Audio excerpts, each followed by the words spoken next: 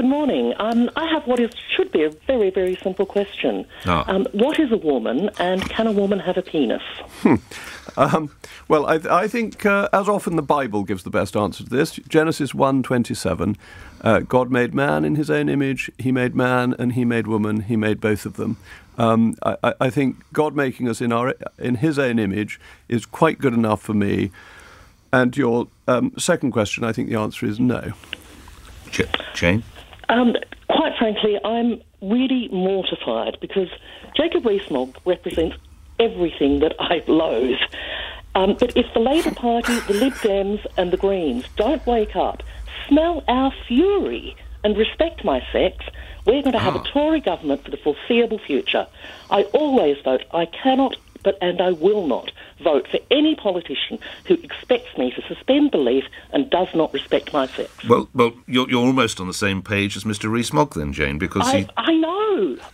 We live in bizarre times, but, you know, we're meant to believe six impossible things before breakfast at the moment. Mr. Rees-Mogg... uh, at least Jen didn't say we're meant to believe six impossible things before Brexit, because people often confuse breakfast Yes, and Brexit. right. I've done it myself in speeches. Uh, I, I think it. The, the issue is, I think, a complex one because there are issues of tolerance and there are issues of kindliness, and I think it's very important to You- allow people to make whatever choices in their you, you can accept someone can be born within the wrong body, for want of a better... and, and people must be allowed to lead the lives they want. I don't want to tell them how to lead their lives, but I agree with Jane. There are some things that are perfectly obvious, and you can't contradict them. Uh, but when it comes to a swimmer who was born a man but to now compete as a woman, or a cyclist, are, is I hate to say their own games, but is their own games the best way forward?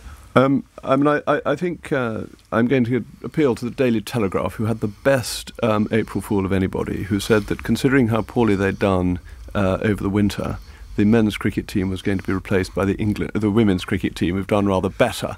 Um, and, and that might solve all of these problems when uh, the English women's cricket team take on the New Zealanders at Lords uh, in May.